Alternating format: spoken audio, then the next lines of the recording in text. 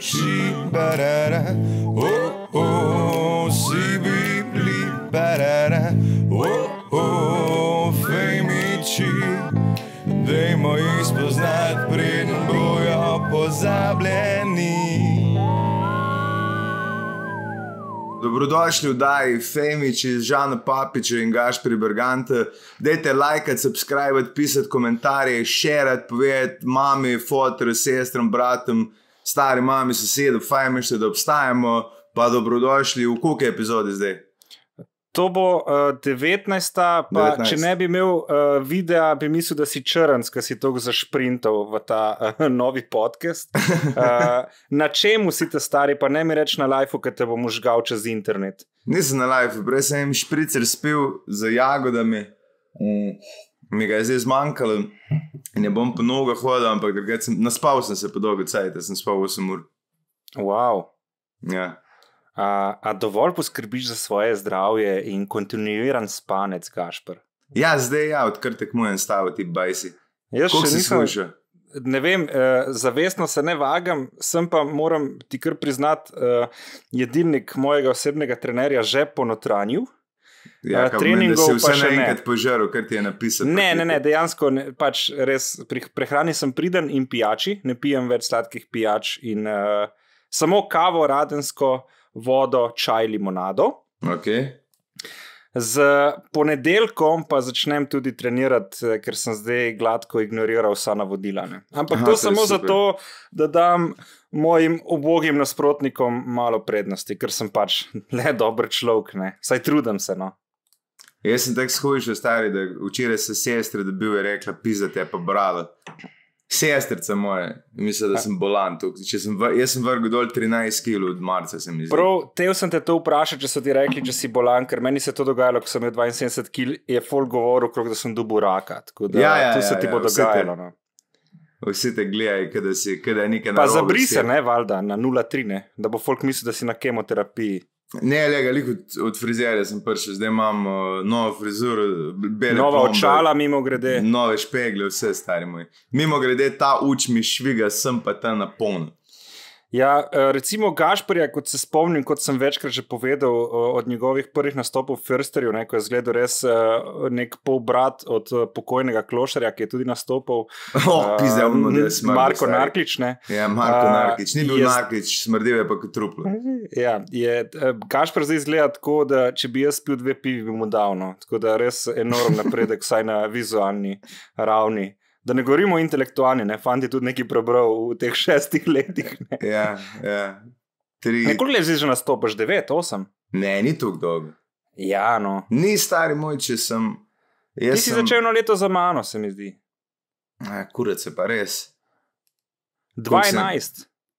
Ja, jaz sem star 31 let, no, pa začel sem se zdi pri 23, 24. Ja, prej 23. Kaj ti si hm. bil še v stari gromki, ki je že dolgo, dolgo ni več. Ne? To je bil ja, tvoj prvi mislim, nastop, če se ne motim. Ja, ja, ja, lik intervju sem imel zanč, ko me je ena sprašvala o tem, kje smo prvič nastopili, ko nikoli nam pozabil, ko je Vasko prvič prišel, uh, Vasko Simič. A sta videla na isti dan začela? Meni se zdi, da je začel en nastop za mano. A ja, oni hodijo na une delavnice, še veš? Ne, če hočeš na delavnice. Ne, ne, jaz, ko sem šel pogledati, eh, ker sem bil prejšnja generacija ali dve prej. In pol te te stare, kao so nas povabili pogledati te nove. In jaz sem tam vas, kot ta prvič videl v Dicu v kleti. Tako da on je bil na, na delavnicah, od uh, Tina pa težke. Panč ja. akademiji, ja ne. Mene je drugač ful, ful žal, ker mi dva smo že včeraj probali snemati in po začetnem zajebu tebe sem pol jaz čez zafuko. Ne, veš, jaz jaz ponovadi uh, jebem, ne, gašpr pa zajebene. ja. Jaz sem se snemal brez slušalk in se vse čulo, stari pa tukaj dobre. Imela smo res dober ran, v učilnih napravah smo govorili o golmu otoku in vse je šlo. O smrti bližnjih, uh, prav tako globok čustven pogovor o občutkih, tako fizičnih kot čustvenih. Ne. Mislim, ne vem, se sem te prej vprašal, sploh ne vem, kako smo prišli do močilnih naprav, ampak res je bilo. Ja, jaz sem rekel, da preko Gašprevega stenda, pa ne, zdaj on se uh, pač ne izogiba in priznanje temu. Uh, ampak jaz mislim, da je škoda loviti včerajšnji dan, ne, ker. Uh, ne, vsega ne moramo, ne moramo, sam žal mi je, tukaj mi je žal, ki je šlo tukaj mimo zaradi mene. Koliko for je šlo toliko mimo, ki si jih nisi zapisal, ne? Pa si mislil, da so full dore. Pa jaz se kar zapisujem, no, ampak jih pol pozabim, ko jih enkrat naredim, tako da se, hvala Bogu, snemam med nastopi zdaj. Mimo grede, ne, eh, naši Kaj? soustvarjalci in poslušalci nam eh, pridno uh, filajo elektronski predal pošte. In imamo en, eno, eno pismico, v bistvu prvo pismo, ki je prišlo v tem novem valu te epizode, je iz najbrž ne Afrike, ampak je pa lo.firm. In uh, je gospod napisal: Pozdrav, nadam se, da vam pošta neče vzrokovati puno sramote, dok vam pišemo dobro veri. Jaz sem barister Stephen Williams, pravnik iz Zapadne Afrike v pokrajini Lome Republike Togo. Skratka, uh, milijoni se nam obetajo, Gašpor, tako da fuck off, vsi pokrovitelji, sponzorji in željani podpore tega podcasta še dolgo, ne da tega sploh rabili, ne bomo, niti, niti nočemo. Ne. Um, je pa rekel, da če me lahko kontaktira za vse detajle, jaz sem napisal, samo šalite detajle eh, slobodno. In uh, že naslednja pošta je šla v spemne. Tako da sem zaznal tukaj prevaro. Ej, bude, meni je na Instagramu zanč uh, neka baba pisala, kao, da je nekdo umrl in ni, kaj je bila fora, da nima nobenega in je gledala moj Instagram in se odločila, da jaz lahko dobim vse, kar je on zapustil. Wow. te- Stari moj, ti res kot prvi, že tek, če bi jaz gledal svoj Instagram, bi rekel ne. Kaj šele, da ti kot vi ste taki bedarije, ampak folk nasede. Ampak veš kaj, če človeka ne maraš, ne, taki ti je neki zapustil in hočeš, da gre vse v kurac, daš enemu takmu. To ja, jaz sem gledal eno, eno foro iz Amerike, ki je en model je umrl, ki je bil poštar, kar kul.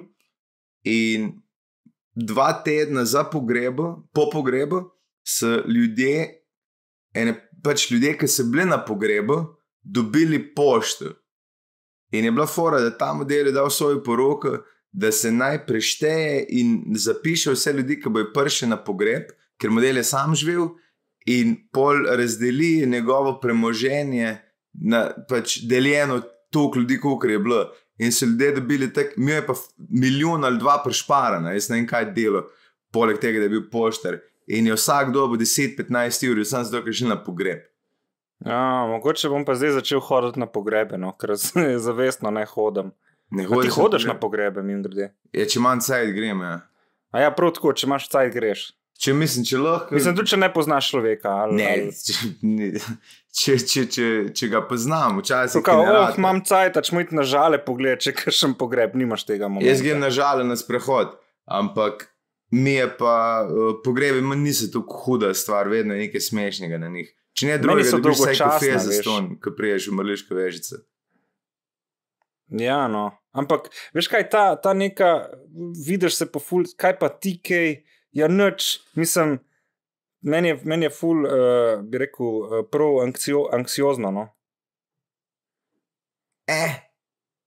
Mislim, Gašpr Brigant in smrt. No, pa Ne. zbližemo ti dve temi. ne, se- kaj ti je grozno, pač greš ti, a meni je, malo mi je grozno truga, zato ker je pač, ne. Jaz pa prav pogrešam, ker zdaj vsi so skurjeni in je samo una žara. Ja, In, in ne moreš niti pogledati človeka, niti videti, koliko je dolg, ne nič. koliko je dolg, Ej, ko sem, ko sem prvič kaj šel ti na en z meter hodiš na pogrebe? Pa tako, veš, tako, mislim, Da vidiš, koliko se je Ima tri dimenzije, ne, višina, ta širina, pa dolžina, ne, ko umre. Je pa prvič, ko sem šel na pogreb, da je bila žara, sem imel ene sedem let, po mojem, Ja. in sem gledal to žaro, in mi ni bilo jasno, star. In potem sem vprašal mamo, kako so ga skacali noter. Tega človeka, in in sta se mama in tata začela oba dva smejati noter in sta šla ven, ker, ker pač ni- nisem štekel, da, da, da to telo pol še skurijo. Ne. In sploh ne dajo celega noter. Ne. Ampak tisto, kar ostane v neki kosti, pol to nekam vržejo mačkam ali kaj. Se dajo vse, kar ostane noter, ne? Ne, ne, ne, zato ker se ne skuri vse. Mislim, so full močne te plinske šobe, Ja. ampak ne skurijo prav vsega. In mislim, da neki ostanki vseeno so. No. A veš, kaj vedno vsake leto nekdo naredi poceni peč za pice, kao Da, Ja. da lahko na elektriki spečeš doma tudi pice. To je un krematorij, ena peč, kjer lahko fucking narediš pice brez problema. Pa čeprav Ja, je plinska. V bistvu bi lahko ta racionalizacija, ne, zdaj, ko bomo Tako. pač po uh, korona času imeli uh, krizo, je treba optimizirati zadeve. In pizzerije bi lahko bile v nočnem času krematoriji. Uh, jaz bi recimo kemoterapije preselil v Krško. Ker uh, zakaj je treba imeti še v Ljubljani to radioaktivnost, če lahko imaš vse na enem kupu. Pa zikar je še kakšna, kakšna optimizacija možna. Ti si bolj ta človek, organizacije, optimizacije, ne sploh kmečke. Ja, mogo bi, se, mogo bi se malo bolj s tem ukvarjati. Dej povedaj pisma, kaj je. Ja, te, ja, skratka, poleg tega uh, gospoda iz Afrike. Nam je še Black Grape pisal, da ga najbolj razkuri, ko po napornem dnevu gre po tuš in mi fucking WiFi ne dela, pa ne morem fucking Femičo poslušati. Telefon je samo enkrat poletel v steno, fanta, vsaka vama čast za tak podcast in samo tako še naprej. Lepo zdrav iz prekmurja, send from my iPhone. Skratka, en prekmurska ima dejansko cache, uh, da si lahko prvošči iPhone. Razen če iz petke posluša. Uh, info afna nova 24.si. Sta carja, nadaljujta z dobrimi podcasti še naprej. LP nova 24.si v oklepaju in ne nova 24 TV. Tako da je razlika, to je ta sheka nova 24 TV profil. Hej, by the way, koliko agresije moraš imeti v sebi, da greš po tuš in ker ti WiFi ne dela, vržeš telefon v steno, čeprav veš, da telefon ni zares kriv. In ja, še hujše, če misliš, da bo to popravilo situacijo. Ja, ja, da spet noš mogo poslušati lole. Je Zdaj- pa lepo, da naj nekdo iz prekmorja posluša.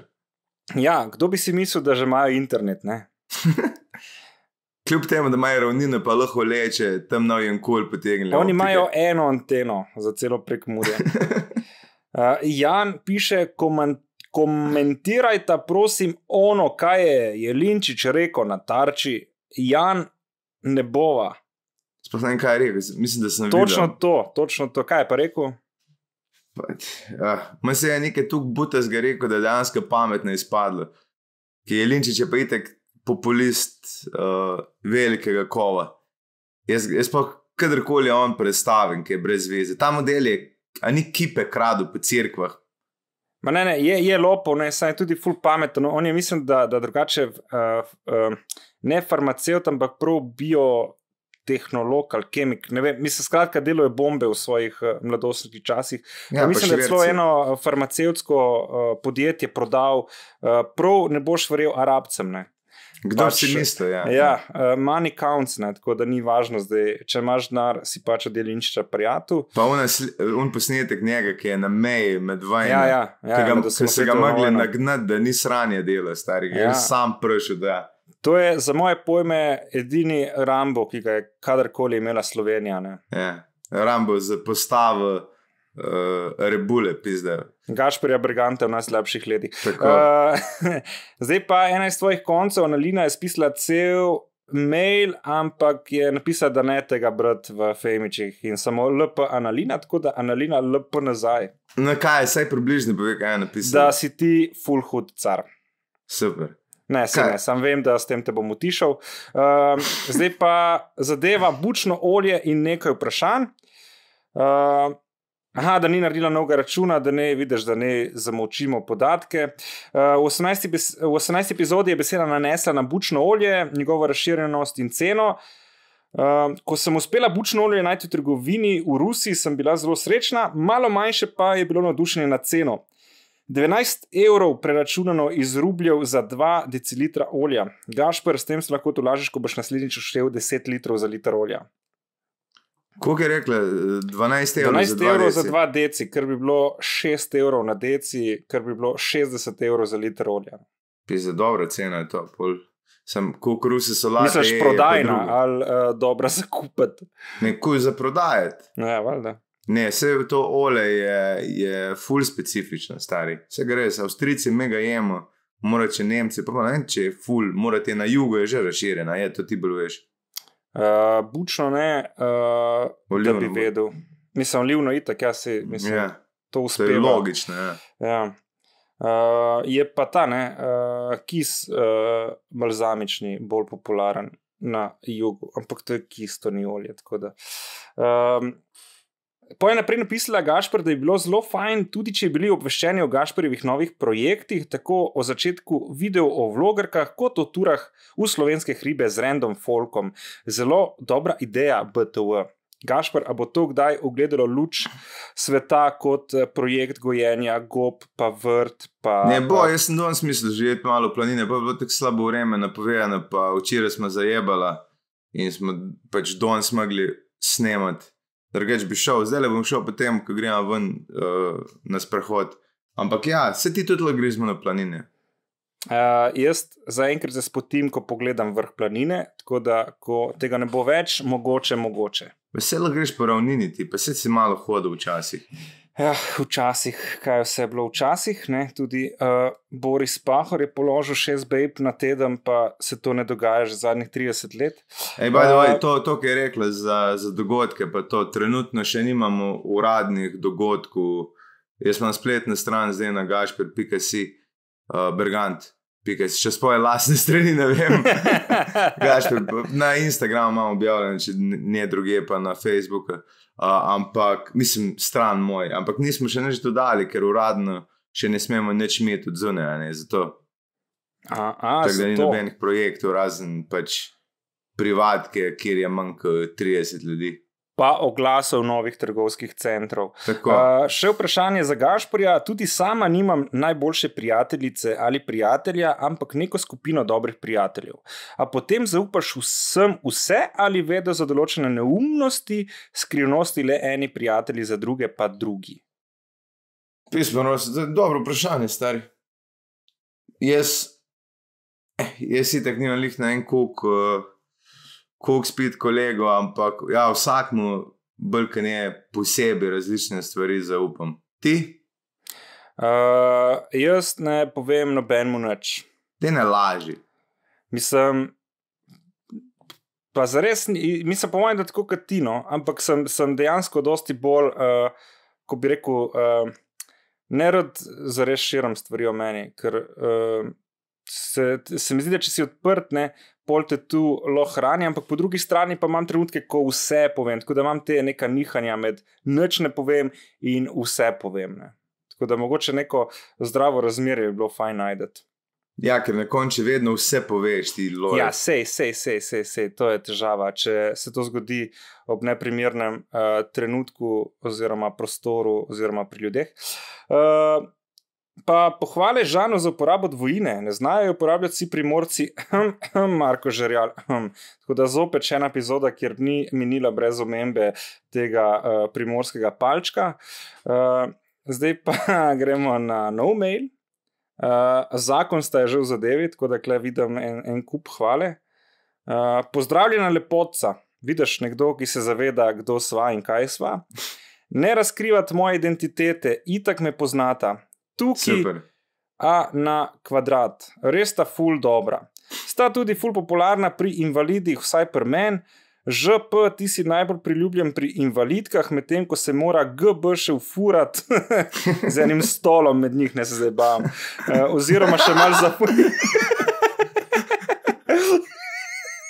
Jaz sem si bolj predstavljal navaden stol, na kjer ga daš v kolese za tiste umare, a veš. In se Gašpr pripelje v krok invalid, ki se tako prigura noter v ta krok. Ne. Eh, oziroma še mal zafurat med njene. To omenjam, ker sta glih v 11. podkastu govorila o invalidih. Za vaju imam par vprašanj. Kot prvo me zanima, a sploh imate rada invalide in kaj si mislite o njih. Invalidi in stand-upovci smo itak marginalisti, ko še koga, ako neče svoj, svojo, aha, svoj svoga, ok. Um, Skratka, mava rada invalide. Ni to glih nekaj, kar bi rekel, greva na Dunajca, ne? greva na Ja, invalide. to- Pač, Nikoli, nikoli nisem še bil sam pri sebi pisma, vdele pa res pogrešam enega invalida. ali pa danes gremo eno invalidko ujagati. ne. Ja, ni, ni še to mi na misel prišlo, ampak ja, pač. Isto, Ampak zakaj vse. pa ne? Dobra ideja, mimo grede. Ne? Kaj? Za en študentski žur bom prav rekel, danes pa gremo jagati invalidke ne? in bom vse druge bebe uh, spregledal. Ja, sej, uh, mislim, to prvo moraš iti na žurk, kjer ni štenk do nje, pa navabi tudi invalidke, ker na redku, kjer je žurki, srečaš ful invalidk, še posebej pripravljenih tebe spoznati. To je res, kje oni žurejo, razen te decembrske žurke, kjer smo tudi mi občasno povabljeni. Je ne, kaj ti je, sem, v kakih kleteh, kjer prideš z dvigala noter. Ja, ali pa da je v pritličju. Ja. Um, Drugač, jaz se spomnim, ki je bil enkrat, eh, kaj je že bilo tam, uh, oh, veš, kaj je parlament, emonska klet, emonska Ja. ja. klet, se enkrat bil na tem en model pršel, voziček je imel star, ki ga je dvignil. Da, nisem še tega vozička videl. Dvignil ga je, da je izgledal, da je stal, ampak dva sta ga porulekla dol. In jaz vem, kako je on voziček težek, enkrat, a smo mi dva nek, neke open micere, ki smo imeli une električne vozičke, po štengih dol nosili. Tisto, koliko 100-200 kil, mislim, je, z- s človekom še. Ja, človek je kamot, kamot 250, 200, 300 ja. stari, mislim, Mhm. grozno je. In one se ga prinesne in je cel cajt, poj se pa v krogu furo, pa gleda bebe, pa se smeje, stari. moj. Tok- mu je bilo, vse se, vse se navalilo na njega, zato je bil, on je bil res najbolj zanimiv, stari. Jebeš shiny shoes, če imaš voziček, ki te dvigne. Si, Ja, ja. On je bil na pol robo kop tisti dan. Jaz Ampak- mislim, da ima Admir neki, uh, mislim, Admir, skozi govorim, Almir, nekaj podobnega, ali Amir, pisa. Zakaj vi, bosanci, nimate enega navadnega imena? De, A pa vsaj sam eno na A. ja, ne, ne 14 variant, da lahko zgrešiš. Je imel isto ta neki, bila sem enkrat na drinku tam v Evropski hiši, veš, kaj si ti nastopil kot spodaj v lokal. Ja. In so, so imeli malo več časa in sem ga pač vprašal, da mi malo pokaže. Je, je kar high-tech zadeva, no? se da delati svašta. Ja, jaz sem enkrat en je v Ljubljani, ki je včasih je po vojku je furo, ki je imel voziček, ki je bil, on ni mogel rok premikati po neč. In je imel voziček, ki je prišel nek joystick v usta. Mm In je poštemo še furo, ki je bilo tako, upam, da ne boš kihnil noter. Ja, To- mislim, to je ta ročica, ne? ker če ne moreš niti rok toliko uporabljati. pač ja, on jih mogel, z on je imel usmi. čist, Ja, čist je imel ja, zavite. ja. Ampak mama rada invalide, no, če to hoče čuti. Ampak to Mislim- ne pomeni, da se bomo ostavili pri tep na pere. To pa, ker nekaj No. imeti na splošno ljudi, rad nekaj pa posameznike. Pa me pa še zanima, če se Pa daj, bomo kaj se- družili v živo. A ti je to napisal? ja. In kdaj? Da, moramo ga malo obiskati, stari. Hm. Ali vam preveč težim? Eh, ne teži, kaj bo on težil. Uh, pa zadnjič sem zasledil, da ste govorili o devičnikih in prostitutkah, in bi sam dodal, da jaz v tem ne vidim nič spornega. Ljudje, ljudje kupujemo vse budalaštine, za fuk pa kao ne bi plačali. Boljš plačati za dober fuk, kot vzeti ženo na leasing. Ej, dober point plus zanč sem pozabil, ker nam je un 32-letni devičnik pisal, um, ki je rekel, kao, da ga skrbi, kako se bo sporazumeval s kurbami, ker ne zna ni nemško, ni angliško. Ker te kada kurbe znajo, kjer ga v teh jezikov. ne. Pa mogoče da ne. Hvala, ti si stari. Včasih sem lahko ping-pong igral s tem. Sem vedel, da če bom nastavek naredil, da boš nazaj dal nekaj smešnega. Zdaj me pa gledaš, kot Forest Gump, stari moj sirata. Lik prej sem grunto, prej smo začeli, da ti si slovenski Forest Gump, ki si po eni strani pameten, po drugi pa tako glup, da ne moreš verjeti. In, in vse se ti počistno na ključi naredi. In vse je dobro. Zdaj se smejem, ampak na noter tudi okam. Uh, ne, zato veš, kaj sem razmišljal, ko sem furil pice tem uh, prostitutkam. In, uh, Kdaj si furo pice prostitutkam? ko sem pač furil pice, ni da sem se kar odločil, ok, zdaj, je korona cajt, gremo in furati Ja, pice, so jaz vem, kdaj si- delajo v krizi, one res zdaj Ja. harajo. Um, pa ena je bila fulušna stari, ta Hello Kitty svileno plašček. Pa lepe kam si furo? v- v Klej v? Sežani, se veš, da smo na meji, pa da imamo. A ja, By okej, the way, v okej. Sežani imamo zdaj ta biznis z lutkami. A to laufa? Ja, pa je Oziroma- kot noro in v kratkem se nadejamo tudi uh, lutko moškega spola, tako da gaš prvabljen. Ne, a, a res laufa, gnor. Ja, te dve bebe, ki mislim, da niso tukaj, sta z Gorice, uh, sta skozi po časopisih, da šiba, da gre ful in da bojo dejansko še moško lutko nabavili. Mislim, če bi, sorry, če bi full šibali, bi manj logična nadgradnja tega biznisa, bila, da še eno žensko lutko nabaviš, ne pa eno moško. Ja, najbrž ženskih lutk je že zdaj dovolj. Ne? A ja. Tako da eh, pač razširjajo ponudbo, ne pa mislim, dopolnjujejo. No. Um, Čeprav to ne štekam, stari štekam nekako, da, da ono ženska lutka. Uh, ja, ne vem, naslednja nadgradnja bo verjetno lutka v, v otroški obliki, ne? Pač da se bo še psihično malo zdravilo. ne. Pa si, Zdaj veš, pa tako, kot ti tih, pa sam te gledam. Ne, hotel sem reči, da, da te um, pač prostitutke so dosti bolj jezikovno nadarjene, kot bi si mislil. Ja.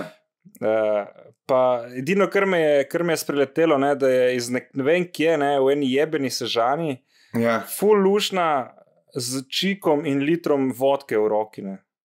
Ne, To mi je bilo kar žalostno. No. Veš, kaj se, nek, uh, se mi je utrnilo. Uh, da itek dejansko mora biti ful, uh, ful dobro glede jeziku, ker če si kadarkoli bil na pumpi, pa imel stovornakarje iz tujine, ki je pred tabo bil na vrsti upravka, noben od njih ne govori razen maternega jezika skoraj. Ja. On, Bolgari toče, bolgarski, italijani, italijanski. Tisti ljudje, ki delajo na pumpi, znajo tudi nekaj romunsko in bolgarsko. Zadnjič sem bil presenečen, ker je en model iz šole, ki ni imel dobrih ocen, uh, niti pri angleščini, zdaj majster eh, pogovorno govori malo bolgarsko, malo romunsko, malo Zato, ukrajinsko. imaš, ker se po moje je lažje naučiti bolgarske, kot pa da jim v angleščini tri leta probaš dopovedati, kje dokumente mora dati, da mu na kje račun mu bo pol pisal. Ker jaz sem videl, ker se kregajo v bolgarščini, v romunščini, vse isti kurac, manj. Uh, tam zunimo na pumpi, pa mu ni jasno, da noben se ne razume. In tako da kurbice morajo to znati. Vse najboljš, a, a poznaš to zgodbo, ki ne vem, je to bilo na, uh, kaj že, kaj že tle proti primorski, no? tam, ko ve, vedno veter piha. Aha, uh, Rauber komanda. Na Rauber komandi je en model, vem, to je en pisal, je bilo v delu ali v sobotni prilogi, ne vem, kje je že bilo, da je bil na pumpi v, novinar pač utrujen in je spal v avtu in mu nekdo potrka. In on tek, kaj pa je, a, a, a te kje zebe, a veš, ne, to so te code words, a te kje zebe, pa on tek, ne, ok. In pa prišel spet čez 15 minut, ej, mene ful zebe, kaj pa tebe, tako da spizdi model. In je pogrunto, da je pač prostitutek in je klical policijo, ker ima še na kurac, ki mu ni pustil spat, in prije policije in ga je poznala po imenu. Sploh ga niso aretirali, samo nekaj izmen, da kao Tomaž, zdaj spizdi, no, ne moramo te več preganjati. To je še bolj, da imaš prostitutke na, na teh postajališčih. Prostitut kot te. Pre, prostitutko te. Ker to Ja. pa je, to pa. Ja, mislim, da, da je dosti biseksualno usmerjenih kamionistov, oziroma uh, boli te kurac po dolgem utrujenem dnevu, kdo tega vleče. Ne? Najbrž da je res. Ja. Ker, uh, pa, uh, veš kaj, jaz, mislim, jaz sem tudi razmišljal, da bi imel en biznis kamionisti. Uh, ne te vrste, kot uh, se ti nasmihajo učke. Ja. Um, ampak nekaj cajta je bila nekakle, spet ta neko študentsko delo se mi je ponujalo, kjer bi 14 dni lahko delal in 14 dni bil fraj, ampak bi vsak dan delal po uh, 12 ur, od 7 do 7, od, od 7 zvečer do 7 zjutraj. In uh, v bistvu je ta benzinska nočna, veš, kaj je samo za kamioniste. Ja. In ker so na terminalu v Sežani, sem mislil v Hoferju kupovati liter vodke po 3 evre in jih pač po noči prodajati, ko no, oni ne morejo kupovati za 10 evrov. Ampak najbrž tudi oni niso glupi in imajo zalogo tega alkohola. Ne. Sem si pol mislil, no in nisem šel v ta biznis. Čeprav ja, oni ne vem, kako res pije. Ne, ko, to, Pa včasih so stari kupovali uh, 99-odstotni alkohol, ne za čistiti in ga mešali z vodo ali pa z nekim sokom, malo za okus, da je prej pržgalo. Ne. A ja, Tako da ga kar drinka. Zdaj ne vem, morda so jih kaj z nadzorom uh, stisnili, ampak uh, mislim, da je bil kameniš včasih kar pojem uh, za alkoholika. za, za alkoholika. ja. To ne vem. A če Ej. naprej? Uh, ja, veš kaj, jaz bi, jaz bi delal, ker sem lik pri pismih, bom jaz dodal eno pismo iz moje strani. Jaz Iz glave, eh? ali Iz, a? ja, iz glave. skje. Zdaj le se bom objavil, ej, en kos, nasadil sem paradajze. In pol sem nasadil še paprike, sedike, vmes sem pa na, naštupal lepo bazilika, da mi bo zrasla. In mi en kos, oziroma kosovka, hodi fucking noter se valat, pa prst krst. In da sem dal folijo kol in še kar hudič hodi. Nastavil sem, oziroma ji posodo s to prstjo, da ji bo nesla na en gnezd, po moje gradi. In se je. In tistega se ne pipa, stari. Ne vem, kako se naj tega ptiča iz balkona znebim, ker sem naredil iz kartona, uh, kao plenilca, varianta orla, stari gr se mi je usedlo. Sem hotel že pol kupiti uh, uno, ki imaš kao krokar, je črnga, ki je plastičen in ga nisem, zato ker sem videl enkrat, ko so golobe na tistem hudiču gr sedeli. Ne vem, kaj narediti, kako se naj ptiču znebim. Če kdo to ve, prosim. Kaj pa ona, uh, ta plastično-elastična mreža, veš, kaj v bistvu napneš čez cel balkon, tako prav zapreš cel ta kvadrat od pretino. Ja, Če imam, pa veš, kak, mislim, balkon ne bi cel zapiral zdaj. Ja, se je malo glupo, sam eni to delajo. Ne vem, če veš, kot folk te CD-je. Um, A, da blešči. ja, ja, pa mora biti nujno od bipopa, uh, ker drugače ne deluje. Ne, to poslušaš, stari, to ne daš za, za, za, za odbivati. Skratka, to je kaj, tvoje pismo poslušalcem. Ja, zato ker me, me živcira, ker ne vem druge variante, razen da ustrelim čez okno tega hudiča, ker mi bo vse skopal. Mačke bi pa ga pa nimam. ustrelil? Kaj ti jaz vem, magar s frače. Aha. Se morat, veš, kaj bi ga morat lahko, da bi sam fračil, ko imam eno, da bi sam ga z to, kaj veš, da ga, da ga malo boli, ne da ga Ma ubijem. jaz ti predlagam une, une petarde, te mehne, ki so vezane eno v drugo, ki začne kot mitraljeska, veš, sam pokat. Dej v en lonc in sam pržgi. In kaj, ko bo posnemi, noter prosim. stopil, a kaj? Ja, in sam posnemi, prosim, da vidim, kaj rata. da ga razfuka, sam vidiš en pisker papirja, ki ven leti. Ne, rad bi se ga sam znebil, ne bi ga rad ubil, da le gnezdo dela, po mojem, imel mlade. Ampak na živce mi gre in se ga ne more znebiti. In da je korba šel včeraj, šel pod folijem nabirati. Pisa, imaš, imaš v bistvu pravka z enim inteligentnim ptičem. Ne? Ja, hej, sej. Ne vem, kaj, mislim, ni tako glup, kot sem si mislil, da bo. Ja, ne, ali pa ne. Uh, veš, uh, ni policija uh, na tej intelektualni ravni lopovane. Vidim, da res ni. Uh, tako, uh, gremo na nov mail, lahko ali bi Ja, ja, še lahko, kaj lahko, pridodal. Ne, dobro, okay. Ne. Novo mesto, daljinec, daljinec. Zakaj ne marata novega mesta, drugače pa super podcast LP? Ej, uh, novo mesto je manj pač dolgočasno, mi je tako kot, kot mesto. Manj je, mogla bi biti nova vas, ne pa novo mesto. Vse drugače je lušno. Mislim, novo meščani in novo meščanke ste kul, cool, Ja, sam kot mesto mi je pa kar tak nekaj. odkar ni Leona Štukla, nimaš kaj delati. No. Leon Štukl je še nekako poživil to mesto, ampak odkar ga ni zadnjih 20 let, 22. Ja, jaz sem no. šel v Zanjš na Dolenske na sprehod, pa je ful lepo. Um, majstra, si iz Ljubljane šel na Dolensko na sprehod. Ja, ja, mislim, za avto, pa pol malo. Aha, tam. no, no, no, to me zanima. Sem No, da si no. pešačuješ iz uh, centra do. Ne, ful je lepo, ampak tak ena kao turistična pot je do neke cerkve, gor, ne morem se da imena spomniti. Ful lepo, res vidiš, cela dolenska, pa vse. Ampak fucking cesta gor, jaz ne vem, kdo je napisal tam, da je to za turiste. To, kume prideš, no, res, škaka bedarija. Kam si pa šel to? Ne morem se spomniti, kako se reče. Neka cerkev je stara, gor na vrhu. Ni višja gora, ali ko je Ne, višja ne, gora. ne, nik, uh, poimenovana je po enem uh, duhovniku, ki je bil tudi zdravilc. pa to. A. In zgleda kot neka utrdba, fulje enih A je unija šiški ali kaj je? Ne vem, kaj je bil res. Ampak lepo, drugače, sam, sam čudno. Res je bila cesta čez jebana. Mislim, če se dva srečate, je konc, tisti bregi, katastrofa. Drugače Pa pa lepo. zato odsvetujem hoditi v hribe. No. Ne, v hribe že fajn. je. Sem se dolenski. Me, m- manj je, če bi kupoval parcele, bi po moje tam parcele nekje. Lih včeraj sem bil tam šešče, pa kaj že griže, pa to je fulepo. Pa tle, dolenska me iste fulepo. Imaš malo gričevnate, pa še vedno imaš dovolj narave, pa ravnino imaš tudi, če kupiš kakšno nivo. Vse imaš. Joj, kako si ti človek z toliko mnenja in cilji v življenju? Prav, prav zafrustriraš me vsakeč, ko se pogovarjam s tabo. To, to je stare tudi, sem če rekel. Res? ja, sem se dobila in rekel, da, me, da ga prožil cenom. Ja. Uh, skratka, za res ne da ne marava novega mesta, ampak če hočeš, ga lahko ne marava.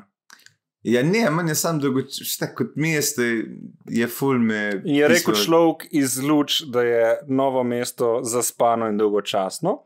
Ker ja. ni medvedov in drugih živali, s katerimi se gašpr lahko igra. Pa ni le muzej, je ful dolgoča, dolgočasen kraj. Uh, Ker je... v lučah se folk zaletava, pijan v stene in je ful zabavno, dogaja. Sploh če ne greš solčave. Najbolj zanimiva stvar v novem mestu je to, da imajo krožnim uh, pletenke. Bravo, res je. In še ni v novem mestu, za res ne. Ampak Malo ven je tam, Kulandija. Najbolj zanimivo v novem mestu je stvar, ki ni v novem mestu. ki ni v novem mestu. ja. uh, gremo naprej z maili. Pridni ste, pridni ste. Zanimivo vprašanje je v zadevi, in že s tem se bojim, da ne bo. Ne, ko napoveš nekaj zanimivega, se moraš zraven še ustreliti v koleno. To je, malo... to je vedno, ko nekdo reče to nov šveril, kaj se mi je naredilo. Tako, ja. Točno vem, da je brez vize. Ja, hej, poslušaj to. Pozdrav, pozdrav, poba. Najprej, če že vsi hvalijo ta podcast, bi še jaz potrdil, da ni tako slab. Drugače Hvala. pa ne bom dolgo vesil. Ne dolgo vezil, ampak dolgo, vesil. Tako da ne bo dolgo vesil, kle na mailu. Ne? Uh, moje vprašanje je, koliko žensk in moških ste že položila ali obratno, uh, in pa seveda, koliko živali pri tem se bolj sklicujem na Gašporja, prej pa kao na mene, da uklepajo, ampak sem uh, valjda zamolčal, ker res ne vem, kaj vse on fuka. Vidiš, Gašpor, uh, spet ta uh, tragični uh, stereotip Gašporja Berganta. Da spi samo z mamo, sestro in živalmi. Ne. To je res uh, nesramno. In ni res, ne potrdim, tudi sestrično, sem bil zraven. Um, in pa seveda, kakšna zanimiva izkušnja z osebo ali živaljo. PS, ostanite še naprej tako debila kot do zdaj, v dobrem smislu, LPMM. MM. Ja, pač ime in primek se že na isto črko ne boš verjel. MM, uh, to je na izi podpis pisma. Kaj uh, torej praviš? Kaj? Iz koliko z moškimi ali ženskami ali oboje. Ah, če daš vse skupaj, je velika cifra. A res? Ja. Če povzameš moške, pa tako tri. Ne? O tem pa res. A veš, ki smo prej govorili, lih o tem, ki je on vprašal, vse stvari, ki jih sam z enimi deliš. To ja. je ena izmed njih. No, deli z mano, Gašpr. Ne. Sicer vmes kapitan še snema, ampak lej, ne bodimo malenkostni. Vem, da se me na eni točki prehito, to vem. Kaj? Zakaj? Yeah. Kje veš, kako veš, mislim, da je bilo to govora sploh. Pa meni se zdi tudi nesramno govoriti o cifrah, ker veš, te, te osebe niso, niso številka. Tako je, ampak če smo že potem, vem, da smo prehitri na eni točki. Ampak jaz bi samo rad dodal, da s komerkoli imam kakršen koli odnos, uh, ni kar tako. No. Ga, ga, ga, ne, mislim, ga ne podcenjujem. Ni kar tako. Sem dober, ali kaj naj rečem. Ne. Ja, ja. Uh, to, da mi ta oseba more vsaj malo neki pomen, pa da tu spoštujem, ker se mi zdi pač zaradi sebe v prvi vrsti, ampak tudi zaradi te druge osebe. No. Klej se pa stvari. Meni je žal, da nismo nikoli uh, izpeljali božične večerje. Ja, by the way, z Gašporjem bi se lahko zapletla v, v, v skupne odnose, ampak Gašpor je rekel: Ne morem, nisem pripravljen. Uh, ne, rekel sem, da ni bilo točno tako, rekel sem: Punca rekla, da bi se ne bom v držal. ja, bi se ne bom v držal. Uh, dekle pa reklo: Bil sem zraven. Um, Oziroma rekli, živijo gašter. No. in je tudi zelo fajn oseba. Prečudovita punca. Pre, prečudovita, a ja, punca je bila, točno. Ja. Prečudovita. Uh, Mislim, zdaj je to, kar se nabildala, da že ne veš. Ne? um, in tako da ne vem, ne vem no. ampak vem, da bi se eden. Po mojem, obremenjeval no, zaradi družine, ali pa bi rekla, kva, isto so oblečena. Um, e, zato si bil ti še cel oblečen, pa sem, sem, sem gate imel dol, pa hlače, da karen, da me je jasno. Ne moreš imeti ti lepšega modrca, kot pa punca, ki jo hočeš ti na, na šopat. Uh, veš, za moment so mi nehali delati možganje, ampak se popolnoma strinjam s tabo, karkoli si rekel. Da, ja. jaz, se tudi, jaz se pa ne morem strinjati, da si rekel, za moment so mi nehali delati. Mogoče so pa za moment začeli in me to zmedlo. to, to je to. Uh, in ne znam pohendljati tega. Uh, kaj pa živali, Gašpr, pustimo zdaj za, za policijo, če si kdaj sploh kaj imel uh, s tem, ampak si pa definitivno vsaj razmišljal. Ne, ne nisem. Nisi razmišljal? Ne. Kako to, da ne? Zakaj bi? Ja, ker si pač. A ti misliš, da vsak ima živali upravka, začne gruntati, da bo pizde tole. Pa, ko smo že lik po kolinah, kdo bo dal tiče noč? ne, se ne, sem tako, ker si nekje osamljen, veš, da v osnovni šoli, pa srednji, da boš sošolko težko prepričal v karkoli. In pol mogoče tam pa nekaj vidiš, se premika, pa zakaj ne. Ja, pa veš, tako vsi razmišljajo.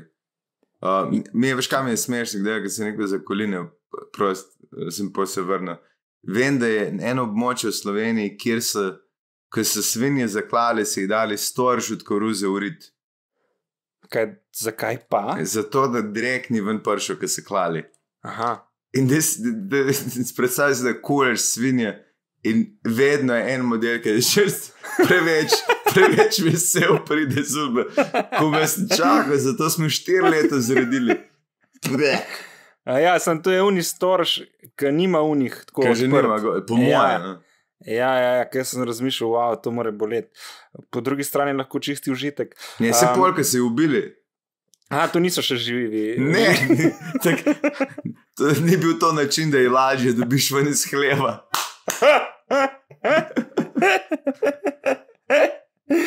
ah, ja, ja, ne, mi ja, te pustimo, no, res mislim, jaz preveč eh, teh. Jaz sem dejansko razmišljal, priznam. Uh, ampak. Uh, mislim, jaz za enega vem, ki je to naredil. Za Gaj Bapira, iz Ljubnega je, kdo bi si mislil. Uh -huh. um, od enega brat in to je brat od njega povedal, čist flegma, da je za Gaj Bapira zelo to ovc.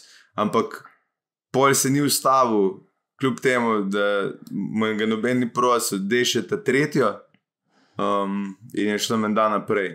To so te govorice, mislim, to je brati razlagan. Ampak je pol vsaj opisal svoje občutke ob tem dejanju ali ne? Ker meni, če rečemo, greš to delati, Model, fajn, znaš to družba, družba ga je gledala, ki je to delo. Jaz sem ne veš, kako on to, a je mehko, a je toplo, a je veliko ali je tesno. To jaz ne vem. Ja, no, vidiš, to pa pol zanima. To bi pač mogel en, pač eh, bi rekel, uh, tak uh, družbeni raziskovalec oziroma antropolog. Ne? Pač ga yeah. Ja. povprašati. Antropolog na dobro jutro. Danes bomo govorili o, o seksu z ovcami. Ja, um. ne, ne vem, mislim, jaz če bi šel delati to stvar, bi se lotil tako, da bi te vke imel od tega. No? V smislu, uh, da bi se nekaj naučili v niste izkušnje. Po mojem jeziku se kjer najdu, ki je. Ki je ne, zato smo to zadnjič imeli, prvočerajšnje debate, ker sem bil v eni kmečki družbi. Ja, točno, da je zik se kjer najdu, ki je teli, telička, teletega noter, da veš, ki ima itek refleks. Zizalni. Ja, ja, ja. In dokler pa smo se menili, koliko časa lahko, dokler ima zobe ne zraste in preveč. Točno. In? Kaj ti jaz vem? Ja, če ste se pogovarjali, sem mislil, da ste kje dognali. Zato, ker recimo poznam enega človeka, ki hodi uh, pač na te prej omenjene delavke, oziroma uh, te, ki nudijo uh, razne storitve za dobro počutje človeka. In je rekel, um, da je teliček še vedno boljši. Ne, je hodil prav k starejšim, ki niso imeli zob. Ne? Mislim, da so dali protezo ven in potem z lesnimi. uh, masirale. To je Um, tudi žalostno, stari moj, da, da si. Pa zakaj? Meni se pa zdi, da pač se gospa pol čuti cenjeno in vidi, aha, tu če nimam zob, sem v resnici še bolj Ne, uporaben. meni, meni je samo žalostno to, da si tukaj stara kurba, tukaj sta, dolgo v biznisu, da so ti že zobi izpadli in še kar nimaš. Ja, pa se isto z igralci, pa z gospo za blagajno. Ne? Ja, no, v redu. Ja, se vsi delamo do 70 leta. In fajn je, da tudi pri teh starih letih v bistvu z nečim, kar bi rekli, da je slabost, rata tvoje najmočnejše orožje. Ne? Mhm, Gaba, gaba, gaba. Ja, bi- ja, točno to. Ne. Tako da jaz še nisem probil tega, sem pa že kot mladinec o tem dejansko razmišljal, ker sem svojega kolega, eh, prijatelja, hecal, da hodim k njegovi babici ravno zaradi tega. Tako da Zih se če- ful sline, stari. Zih. Misliš? Zakaj Pom- pa? Ja, zato, ker po moje, ne moreš uh, ustov skrb dati, po moje sam slab ven A pride. Ja, to moraš ful, to v bistvu ona kar zapre usta v resnici. V bistvu je tako, da ti zobe za nek da ono, kaj ti že da noter. Uh, uh, Une tampone. ne tam, po, ja, tam po, ampak ono, injekcije, ja, veš, da ne Aha. čutiš nič. Sam, hej, ki ti nimaš zob, se ti pol zaprejo usta do dlesni ali se neki s kostjo konča. Veš, a se ti usta dodatno zaprejo še za ta manjko zob. Veš, kaj mislim? A ja, da imaš, da, da, da v bistvu imaš luft, Ja. imaš tudi, veš, da Po mojem ga nimaš, ne? po mojem zato pa povleče usta noter, ker se ti zaprejo še dodatno. Ne? Ej, jaz bi, o, lik zdaj, ki sem se, ki smo začeli o tem govoriti, predlagal najnama, najnim uh, poslušalcem in gledalcem, naj si pogledaj en slovenski narodno-zabavni komat z naslovom Naša babica je zobe izgubila, ker je to je pa fucking legendaren komat. Res je dober. Naša babica je zobe izgubila. In govori o tem, da je penzijo tistemu, ki najde jih, je penzijo obljubila, nekaj tajega. Veš, kaj je smeš, mi vedno, ki smo, ga, ki smo pijani, začnemo to pet. Skratka, sodeč po tem komadu se splača eh, penzionistkam izmikati eh, dlesni, Zobe. oziroma zobe, ja. ne umetne. Zobe, ja. Eh, Ker dobiš pol ti penzijo. Tako. Um, ja, mislim, boš ti kdaj boš čakal, da tvoja, oziroma kdorkoli pač se igra s tabo, ne? čakal, da izgubi zobe, ali si boš omislil ta luksus že kaj prej. Ja, lej, kot veš, jaz vedno tepem ženske. Uh, nočem niti si Ne, mislil sem, da boš počakal, da ostari, ne da, jo, ne da ji ti izbiješ zobe, gašpr pokvarjeni. Ja, ne, če, če, če bo brez zobov, še vsaj mora biti mlada, da bo vsaj nekaj v redu izgledala. Se pravi, bi rad te ženske, Ena, ki je imela eno prometno nesrečo, veš. ali pa je sam na eni hudi drogi, ki zgubljaš zobe. Ja, horsu, recimo. recimo, ne. Ne, to me pa, to me pa res ne bi rajce, da, da bi pač brez zobov mi ga cuzala. Ti? Uh, ja, jaz bi to definitivno uh, probal, se pa bojim, da bom pač. Da ti bo všeč. Bo, ne, ne, to sem skoraj prepričan, da mi bo. Da, ampak da bo to po letu uh, 2050. Ne. Ok, doki. Tako da še dolgo bom čakal na to prvovrstno izkušnjo, ki te popelje v, v sedma nebesa. Um, mimo, glede, mimo grede, ko sem omenil že sedma nebesa, si kdaj gledal Seven Heaven? Ja, tega pedofila. Ja, dejansko ti Ej, pedofil. stari moj, gledal sem v otroštvu to, ja, in to, on, on se je na koncu izkazal, da je pedofil, legit pedofil. In on je sam en statement napisal, da, ja, da mu je žal, da je pač imel take čustva, in to je bilo to. On je imel otroke res rad, po njegovem. Ja, mnenju. ampak on ni nikoli zares na fuku zaradi tega. Če te gledaš Louis C.K., ki se ga je drgal pred babom, pa unga, ki je dejansko frojce na te pavo, je full velika razlika med njima. ja, pa, by the way, uh, Louis C.K. je pred svojim aktom vprašal, če lahko to stori. In ker so mislili, da je komik šalivec, haha, ha, ha, so rekli, ja, valjda, in je ti prej začel. Ne? Ja, Tako mislim, da- da... ful je tle enih zgodb, noter je pa to bilo splošno znano, da se ga on drka pred babom. Jaz sem ga šel gledat, kam že v Praga, kam s kolegi pa sestra. In ko smo se nazaj furali, smo prav, sem jaz rekel, ono, No, upam, da, je, da to ni zadnji nastop, ki smo ga lahko živo videli, predtem pride. To vse, ki smo vse vedeli že prej. Uh, Ma pa zdaj nov special, jaz ga še moram gledati. Vse je Točno sedem to je tudi 7 dolarjev na njegovi strani. Zanima Ja. me, je bila publika ali ne. Valjda je bila, ne? Ja, po mojem, da ni sam sebi okej. govoril. Ker je en komik, ki se imenuje na spomnim, ki je sred puščave, sam sep nastopil. Ja, res. Ja. In je dobro ali je ne. Model nisem gledal. Nisi gledal. Ne. Um, kaj, gremo naprej? Lahko prej, ja. Oh. Ja, še, še zadnji mail je v resnici. No? Ja, se prav. In uh, javil se nam je uh, glavni, oziroma junak uh, prejšnjega dela. 32 Uh, zdravo, devičnik. sem videl ja, v podkastu, da vaju moram komentirati. Tukaj je moj uh, kontaktirati. Tukaj je moj FB profil, uh, en full dog link, lahko si pišemo kar prek FB-ja. Tako da, Gašpr, zdaj imamo odgovornost, da uh, še enega lepega in pridnega vernika uh, popeljemo na pota greha. Ja, mi dva smo pogledali tvoj profil in definitivno te bomo mogli pelati v korbe. In uh, mislim, uh, bo še nekaj dela, no? Bo treba menjati ta nek, uh, bi rekli, pedigre do, in do glasbe, in tudi način komunikacije uh, na svojem FB profilu z potencialnimi, uh, če že ne ljubeznimi, vsaj uh, ljubicami. Ne? Uh, je še nekaj dela, ampak. Uh, Je pa potencial, ne, da ne, da se veliko postoriti. Pa plus to, da lej, če objavljaš slike gnarja, je vsem jasno, da to ni tvoj gnar. Ja, da ga nimaš. Da, pa ne objavljati teh obletnic prijateljstev z random ženskam, ki jim pošleš uh, prijateljstvo, ker ti je huda, in pol po enem letu objaviš, le mi dva praznujeva eno leto, odkar sem jaz ti poslal prošnjo za prijateljstvo. Vse vemo, da je hudo, ko vse, kar si želiš, je sam takoj fukati, ampak umiri živce, masturbiraj ja, poglej. nekje. Tako kot uh, vsak uh, dober vohun iz Sovene, ko more priti uh, iz ene stavbe čez cesto, v drugo gre še po sedmih lokalih in v crkvu, preden pride tja, ne, da ni sumljivo. Tako da, ko vidiš, bi rekel, stvar, iz katere si prišel, ne točno tiste, da ne bo pomote, ampak iz stvari podobne. Uh, iz katere si prišel ven, ne se zaleteti kot bober v maline, noter, ampak. Bobru prefinjeno- maline. Ampak. Kje si pa to čakaj. glupo primerjavo dobu? Bobru maline. A si kdaj videl, kako se je bober zalaufal v maline? Ne, No, nimaš te sreče.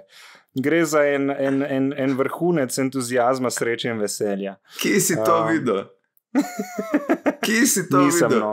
To moj vem. avtomehanik govori in se mi zdi uh, briljantna primerjava. Ne? Vse je, ker je totalno uh, neverjetna. Zakaj pa? Ker zdaj boš rekel, da bober ne je sadja. Bobr kot prvo je les, kot drugo maline ponovadi ne raste tako blizu vode. Um, ni, nikoli še nisem videl, da bi maline žrl. Lahko da ga lahko futre z malinami kot Vidiš, poslastice. tako kot za večino mojih šal je boljše, da si glup. Ne, ker če preveč veš, se ne moreš smejati, ampak si rečeš, ne, to ni možno. Uh, pa najbrž, če že je robidnice, ne malina, ne gašpr bergan. Tako, točno to. Sorry, ki si ti uničil to. Ampak jaz sem lani Bobra videl, fulje lušten, stari moj. Pa me da je dober, tam na krki jih je dosti, ne pa prnomo meste. Krk, a ja, krka kot Na krki. Krka. Na krki. Na krki, ja, ne, prav reče se na krki. Aha, okay. ja, ne, Aha, ne, veš, obstaja prav vas krka. ne. Ja, Mislim, ne vem. Mislim, ne veš. Ja, no, Zdaj vem. super. Sem mislil, da je Gašpor Bergant v svojem slogu me hotel nekaj prepričati, uh, da ne obstaja, če pa vem, da obstaja. Um, ja, tako da ima ma, delo. Ne? Uh, pa mimo grede, uh, dosti ponudb sva dobila od raznih nekih ponudnikov, uh, teh, ki bodo sedaj dobili voucherje. Um, Ja. Tako da vidva, vidva še kar pošiljata, mi dva se bova mogoče odzvala, mogoče ne. Jaz prej kot Gašpr, ker Gašpr ima tako zasud predal, da pol ljudje, ki želijo z njim govoriti, pišejo meni. In pol sem jaz njegov odvetnik in delam že filter, kaj njemu dati in kaj ne. Tako da. Gašpr ne dobiš vsega, kar bi lahko dobil. ne. Um, in uh, kaj še dobiš, še nekaj ponudbe? A ja, še vedno, če je kakšen, mogoče bi nas dogostil, fejmiče, v živo, lahko tudi na, do, na daljši rok in uh, nam dal še kaj zraven, ali pa nam, ne vem, sva odprta za te opcije. No? Gašpr, kaj meniš, za cache naredimo karkoli? Ne? Za cache jaz tudi brez tebe delam. recimo, recimo, če nočete mene, to stane sicer neki, ne, da, da se me odveže Da- da se ti na znebim. videzne pogodbe. Dva, dva smo 400 evrov, sam je 700, zato moram te plačati. Ne greš. Ne, zato, ker to, da imaš samo gašprija, luksuzne. Ej, sam tuk. Uh, hvala Bogu za, za privatke zdaj, stari moj, ker če jih ne bi bilo. Jaz ne vem, kdaj mislili sprostiti, da pa bi- smo že malo živčni vse pizda.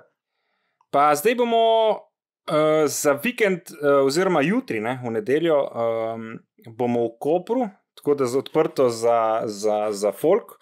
Uh, le zdaj, kako to govorim dobro. uh, Aha, kao- časovno, ja. časovno. Ne. Včeraj, oziroma v četrtek, smo bili samo za te pridne delavce, ki so se borili uh, proti COVID-19, v nedeljo pa je Ja. odprto za folk, tako da vabljeni v Koper, da prijete pogled.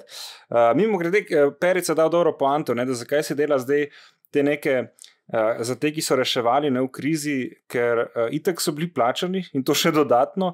Mi, je rekel Perica, mi rabimo zdaj te nastope, da se pomaga. Za nas treba delati dobrodelne nastope, da se nam pomaga, ker mi nismo delali zdaj tri mesece. Ne. ja Tako da je se, kar- se delno strinjam z njim. Ne. kar kruto je, pa če še jesen je lahko še ful več odpuščam pa tega. To je. Lahko da bo slabo, stari moj. Mislim, mi, mi moramo nabrati čez to poletje, koliko se da keša. Ja, se strinjam, pa meni je žal, da znam to delati, mislim, kolikor toliko dobro očitno, da lahko preživim in nič drugega, razen fizična dela. Ne. Tako da, če kle propadem, lahko grem kopat grobove uh, nazaj v gostinstvo, ali pa ne vem, stare obirati sadje na jug uh, Italije, ne vem, nimam pojma res. A tam na jugu, menda maj, tam je en govoril, da ko so kivije nabirali, so imeli tri razrede. Kao, najbolj plačni so bili italijani, pa so bili slovenci in ostali, črnci bili pa itek, da jih ne bi plačal. E, ja, jaz mislim, da je to res. Pa moj polbrat, Ja. ki ga mimo grede tudi imam. Uh, je enkrat, mislim, on je, on je res lik, ne? on je res Ja. lik uh, za novo leto, ga ni do 8. januarja, ne vemo, kje je, ker vedno nekam zaluta. In eno poletje nismo vedeli, kje je cel mesec, in pa se je model prikazal in je rekel, da je bil pač pri neki ljubimki v, Novi Gorici, ki jo je očitno za potrebe tega dobil. Ne? In je cel mesec v Brdih štirimi črnci obiral grozdje. Tako da, tako da, in dvomim, da je bil kaj boljše plačen od njih. No. Tako da v, v, On je v za ston delo, sam je bil za spet. Tako da v bistvu njega toliko spoštujejo kot črnce ali obratno. No. Črnce toliko kot eh, mojega pobrata. Skratka, niso diskriminirani v brdih. Tako da pohvalno za brda, bravo brda. Lej, za, za gnar moraš pač nekaj moraš delati, da preživiš.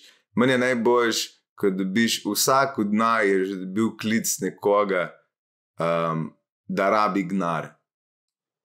To, Ja. In to je meni bilo vedno, če ne poznam, mislim, če poznaš ful človeka, pa veš, če me ti recimo klico, vem, da si sposoben nekak gnar dobiti.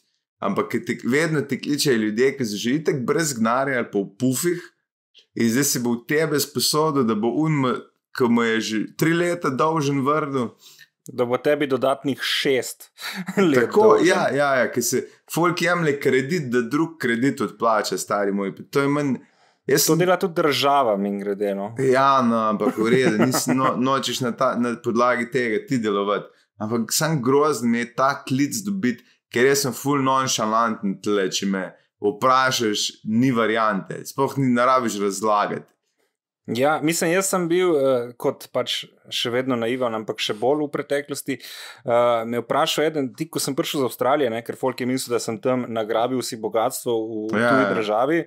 Če lahko posodim, in dejansko nisem imel tega denarja in sem mislil uh, nabrati in mu posoditi, toliko neumen sem bil. Uh, in pol so me naučili, da to se dela zgolj eh, z družino oziroma bližnjimi prijatelji. In ja. uh, takrat zelo, mislim, sem že tudi velike vsote, tudi prijateljem, in sem na srečo dubu vse nazaj, ampak zmeri težje to delam. No. Model, če, si star, rad, no. če si star enkrat 30 let, recimo, pa da si sposoješ gnar, da greš na morje, bi te mogel en s harpunom sred morja butniti na teru vode. Pa ne, če plačeš kakšno kazen, veš, kaj pride nepričakovano. V redu, to, to razumem. Ne. Ampak, ampak da za morje posti pa res glupne. Morje, cune, avte, pač bedarije, zastopiš si. Ja, prodaj neki, ne vem. Nekaj prodaj, z busa se začne furati, zastopiš. No, ših nabavi, začne ja. biti travo, ne vem, karkoli. Pač nekaj, sam... kaj smo mi dva vse delali za preživetje, stari moj. Ne govori, jaz komi hodim še zmeri zaradi tega. hm?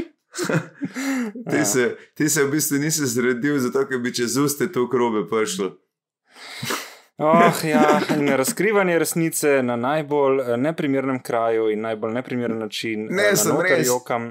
Ra, mislim, da enkrat bo, bo res potrebno v šole ufurati nek, nek nek predmet, ki v, v financah malo uči ljudi. To, se, strinjam, se strinjam, ampak ne vem, če je državi dejansko to v interesu. Ne, ni, no. pol bank skoraj da ne rabiš. Veš. No, in zato tega nikoli ne bo v šolah. Ja. Sam je grozno. Mislim, da fuljenih stvari bi moglo biti. In v resnici ni, ker tudi prve šole so bile za to, da so izobrazile te nepismene, oziroma da jim reč kmete, ki jih je bilo takrat največ, samo zato, da so razumeli zakone, ne zato, ker so hoteli imeti izobraženo ljudstvo. Pač, ne. Ne, da so imeli vojske, da so imeli, da se lahko eh, z njimi delali, pa da so delovci ja. naredili. Ja. Ampak je ta klic ali pa vprašanje, ki je se enkrat dovolj, kot prvo, kjer, kjerkoli kliče po devetih zvečer, pa da ni tvoj ful dobro kolega, s katerim ga hodiš pite, pa kaj. Veš, da je nekaj narobe. Če ti vidiš klic ob desetih zvečer, pa da te nekdo kliče, ki ga ne čuješ vsak dan, je tako fakt nekaj se je naredilo. Jaz sem enkrat dobil o polnoči klic za gnar posoditi, stari moj klub. O polnoči. O polnoči, zdaj le rabimo. In to ni uno, a veš, kaj ti fulk, eni ti kličejo uno, da mi 50 evrov, ta, ta klic je bil za 3000 evrov. kdo, kdo miš, da ima na strani 3000 evrov za slučaj, da ga bo nekdo polnoči klical, ti tele zmešane. In pol ugotoviš, da itek se te najboljši, ko ugotoviš, da ti nekdo laže, ker to, to je najhujši manj vedno bilo, da ti nabije, zakaj bo ti zgnaršal. Ja. ja, meni je najbolj žal. Mislim, žal. Pač jaz sem full naiven. Pač ni, ni mi težko dati, če vem, da res pomagam. Na živce mi gre, ko pa to naredim in me tip nategne. Spomnim se, da sem, mislim, še treniral v Fusbol Ljubljani in sem bil na železniški in mi je model prodal neko zgodbo, da rabi nujno 10 evrov za karto, da gre do punce, ja, ki živi ne vem kje. Vse ta model, po mojem, prodaja to zgodbo že 20 let. Ja, ja. In jaz odprem denarnico in vse, kar sem imel, je bilo 10 evrov in sem mu jih dal. Ne. Tako da. Klej se malo točem po glavi. Pač. On je moj prvi domov, oziroma do dilerja domov. Ja, ja, ja. Je rekel, da je nauč pač. verjel, sam en mu sem rabo reči, pa sem dobil tak nar. Fak, ja, nimaš kaj, lej. to so Manj šole, ki jih moraš plačati. Meni je najhujše na teh parkiriščih, pa ne, sem to tle govoril, ki druge, ki pri avtomate stoji, stari moj. Uh, pa to je spet druga, ne, se daš, ampak tek. Sam ta ja. občutek, ja. da se zdaj začne kategorično zavračati te, te ljudi. Ne. Nažalost, zaradi takih pač debilov, ki to izkoriščajo. Ja. Meni je samo to ej, neko čustveno izsiljevanje, ki je tam le, vem, da imaš drubiš in oba vemo, da jaz ga hočem. Kaj bomo zdaj naredili? Dober spod za sedaj, to so inteligentni. Ne. Sam to ja, ja. bi rekel že uh, model pogruntan, ne, tako da ja. sam posnemaš. Ni, štiri izmenski šiht. Veš, kaj predlagam? Jaz za, za decembr no, bi predlagal. Sem hotel to narediti že lani, sam, sam pač sem iskal te številke, ker sem te vse skrali ulice povezati, da bi mi dva decembra mogoče ali vsak.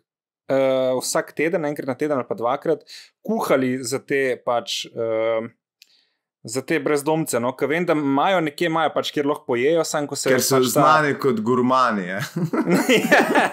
ne, ko se število obrokov porabi, jih ni več. Ne? In pol nekih. In veš, če, če pa kuhaš, veš, da bo pojedel. Ne daš mu tako 5 evrov za kruh in mleko in gre pol pač pit ali se drugje. Ja.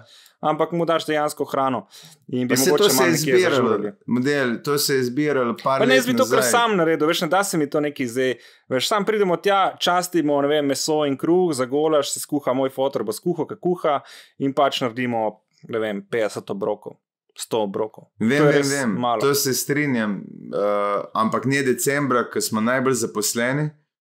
Um, čeprav moraš biti kao prazničen, navdušen. Januarja, ki je kriza, Tako januarja, ki bojo porabili vse za darila, pa to. Kaj? Ki bojo porabili vse za darila, ne decembra, eh, bomo pol mi januarja kuhali. Ej, čeprav jaz enkrat, enkrat sem, mi je ena punca kralje ulice ponujala in sem tako rekel, ne, hvala, že imam, to je moj vedno odgovor, hvala, že imam, ker sem ga kupil pet let nazaj, pa mislim, da je vsebina dokaj ista, tako da če kupim mnoga, pa ne, zgodbe so itak žalostne. Ampak ugotovil sem, da je uh, ta punca, ki mi je ponujala kralje ulice, moja sošolka iz gimnazije. Oh, wow. Ja, Ni ampak veš našla kaj? Boga. Bog ji ni pomagal na, na, Ne, ne, iz ledine. iz ledine, A, z iz ledine. ledine. A, pa, pa, pa razumem, ni dovolj Je uh, pa- molila. Ne? je pa, uh, je pa poročena, kar je pomembno. Ker ima to, a veš, šla je, gledala je statistike, videla, večina ljudi, ki je poročenih, ni revnih, se je poročila, še vedno kložer, oba. Uh, in kakorkoli je žalostno, ti, malo je pa tudi te, te pomir, ko vidiš, da nisi najslabši iz razreda.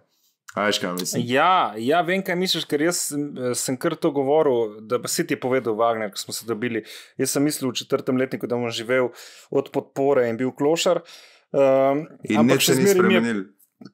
Ja, no, mar pa se je, no, Gašpor Brigant. Zakaj me treba vedno žaliti? Jaz sem že sam dovolj. Evo, vsi ti, ki hejteste v te komentarje, ta sine, sine, pa, pa kaže ta tvoj.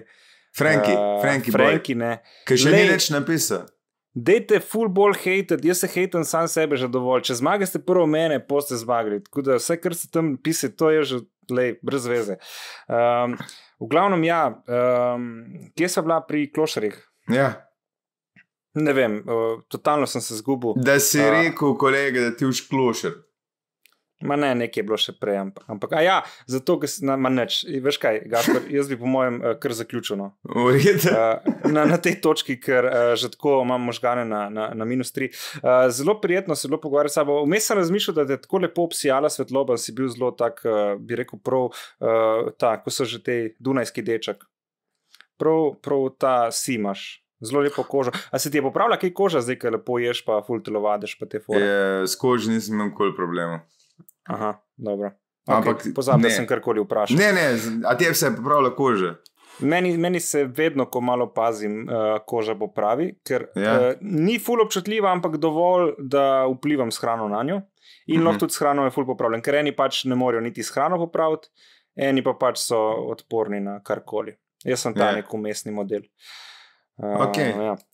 Ej, uh, jaz bi se zahvalil vsem poslušalkam in poslušalcem, pa tudi gledalcem in gledalcem, ki jih je uh, venomer več, uh, da nas poslušate, da nas ocenjujete, da se uh, naročujete na naše kanale, tako v Apple podcastu kot uh, na YouTubu, eh, in da delite uh, to uh, pretežno uh, neuporabno vsebino.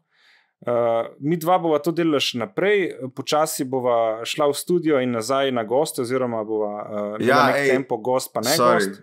sorry, ker prekinjam. Uh, če ima kdo kak studio, ki se ful priporočamo na Melah na Femi, če pišete, zato ker za en studio, ki ga zdaj gledamo, ne vemo, ali bo možno not ali ne. Uh, tako da, če ima kjer kak predlog, ne 20 kvadratov ali pa morate že 15 dovolj, uh, pa da ni predraga ali pa če je možno celo zastojn.